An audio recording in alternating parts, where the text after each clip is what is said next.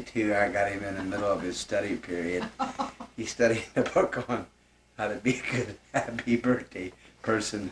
He's also we're in the middle of our semester exams. He wanted to study too. Okay, so he says happy birthday, see? Cut. Three, two, one, start the music.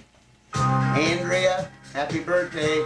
It's a From- birthday dance. Two of your nephews. This is to Aunt Andrea from Stretch and Giles. Really, it's Stretch Joseph and Giles William. They said to tell you, tell you uh, happy birthday. This is one of their favorite songs. We've worked out a little routine with you. They we dance to this every day, especially when we see those poodles next door.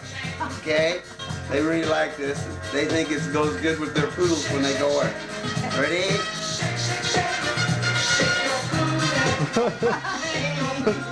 Oh, jeez.